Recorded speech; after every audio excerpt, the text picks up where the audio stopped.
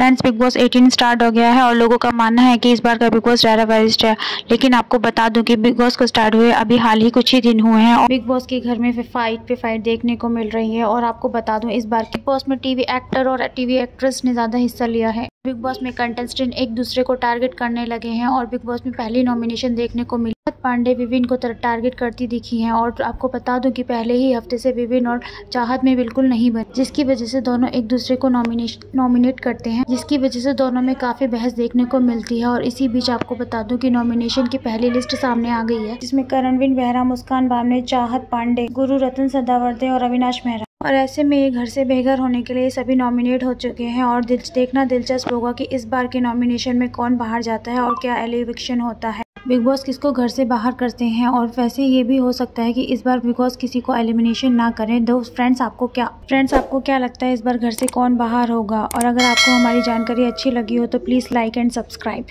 thank you for watching Garvitri vlog